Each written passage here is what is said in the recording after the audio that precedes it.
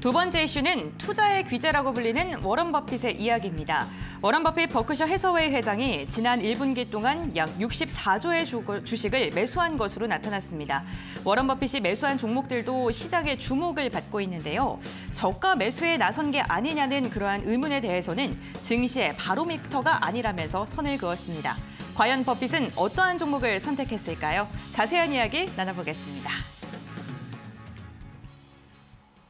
네, 두 번째 이슈 워런 버핏의 이야기입니다. 어, 버크셔 해서웨이의 주총이 정말 간만에 열렸는데 올해 시장이 좋지 않았기 때문에 주총 내용에 참 많은 관심이 쏠렸을 것 같습니다. 네, 맞습니다. 저 유튜브 통해서 하이라이트 영상만 좀 봤는데요. 어, 네. 예, 이게 full 영상이 있더라고요. 그래서 아, 그래도 full 영상 봐야지 했는데 6시간이더라고요. 그래서 아 이게 92세이신데 6시 하루 종일 네. 이거를 주주총회를 소화했구나. 그래서 투자 원칙도 궁금하지만 건강 관리 원칙도 되게 궁금하다 이런 생각도 들었는데 그 이제 버크셔 해서웨이의 실적이 이때 좀 이제 발표가 됐죠. 이제 지난해 어 1분기 지난 1분기에 54억 달러의 순이익을 거뒀다라고 하는데 사실 시장에서는 조금 실망스럽다라는 평가가 있었습니다. 음. 이제 그도 그럴 것이 작년 1분기에는 117억 달러의 좀 이익이 났었고 네. 시장 예상치도 이번 분기에는 60억 달러 정도를 벌 것이라고 했었는데 시장 예상치도 좀 밑돌았기 때문에 좀 아쉬운 실적이다. 좀 이렇게 음. 평가를 하고 있습니다. 근데 그 이유가 이제 주식 투자 손실이 가장 큰 원인이었어요. 그래서 언론에서도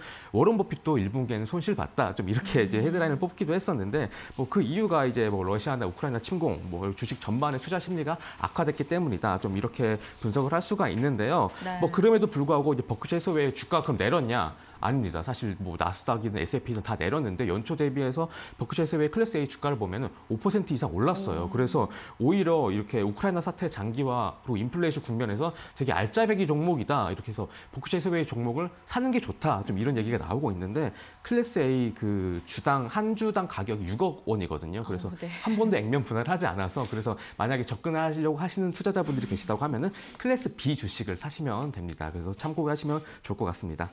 네, 그렇군요. 어, 이런 워렌 버핏도 손실이 나는 시장 정말 정말 네. 힘든 시장인 건 맞습니다. 어쨌든 1분기에 시장이 좋지 않았기 때문에 그런 것 같은데 어, 그 워렌 버핏이 나는 바로미터가 아니다. 네. 장기 투자 관점에서 항상 어, 시장의 성장성 그러니까 회사의 성장성을 보고 접근한다라는 음. 이야기를 했습니다. 그렇기 때문에 좀 접근하면 좋을 그 워런 버핏이 매수한 종목에 대해서 당연히 관심이 갈 수밖에 없는 것 같은데요. 어떠한 종목을 좀 집중적으로 사들였을까요? 네, 맞습니다. 작년에는 계속 현금 보유를 늘렸었거든요. 그런데 네. 올해 1분기에 현금 비중 좀 줄이고 주식을 많이 샀습니다. 어, 네. 그래서 뭘 샀냐 하면 사실 에너지 관련 종목을 샀었어요. 음. 그래서 아, 우리 모두 다 알고 있었는데 이렇게 네. 많이 늘릴 생각을 못했다. 좀 이렇게 아쉬워 하시는 분들이 있을 텐데 어, 미국의 이제 에너지 석유 에너지 관련 기업인 쉐브론을 이제 원래도 갖고 있었는데 이 비중을 상당 부분 늘렸습니다. 그래서 원래 한 5조 원 정도 가지고 있었는데 32조 원까지 이제 어. 상당히 늘렸고요. 그리고 애플, 뱅크 오브 아메리카, 아메리칸 익스프레스와 함께 상위 4대 종목으로 이제 쉐브론이 이름을 올렸고요.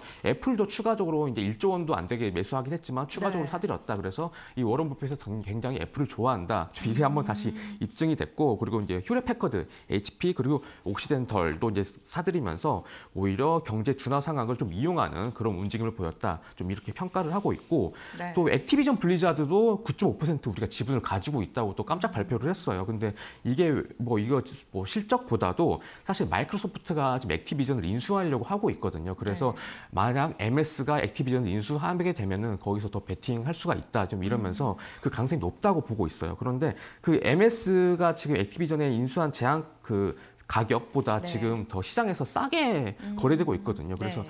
어 이거는 사실 시장에서는 사실 MS가 액티비전을 못 살 거다라는 베팅을 하고 있어서 지금 가격이 좀 차이가 발생하는 건데 이 워렌 버핏은 MS가 살 수 있을 것이다 라고 지금 베팅을 하고 있다는 점 참고하시면 좋을 것 같습니다. 네, 워렌 버핏 역시나 에너지 기업을 4대 투자처 중 하나로 삼고 있다는 점 참고해 보시면 좋을 것 같고요.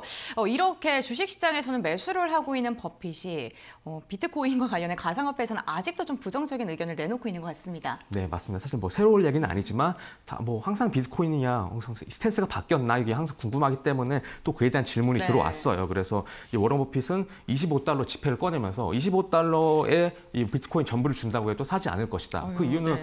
사실 뭘 할 수 있냐? 그걸로 뭐 살 수 있, 뭐 항상 하는 얘기예요. 그래서 이걸로 뭐 식료품 살 수 있는 것도 아니고 뭐 할 수 있는 것도 아니지 않냐. 그러면서 그리고 그 옆에 이제 버크셔의 부의장 찰리 먼거, 오랜 파트너죠. 그 찰리 먼거도 어리석은 것이다라고 하면서 이 비트코인에 대해서 굉장히 부정적인 입장을 다시 한번 반복을 했고요. 그리고 동시에 뭐 월가에 대한 비판도 했습니다. 최근에 워낙 뭐 작년에도 재작년에도 밈주식부터 해가지고 네. 뭐 로빈 후더들 등장하면서 굉장히 시장 변동성이 커졌었잖아요. 그래서 그런 부분들 을 좀 비판한 것이 아니냐, 좀 이렇게 분석할 수 있겠습니다. 네, 그렇군요. 오늘 이렇게 뭐 FOMC부터 워렌 버핏까지 글로벌 시장에 대한 이야기 이광수 기자와 나눠봤습니다. 오늘 시간이 다 돼서 여기서 인사하고 마무리하도록 하겠습니다. 네, 오늘 기자님 감사드립니다.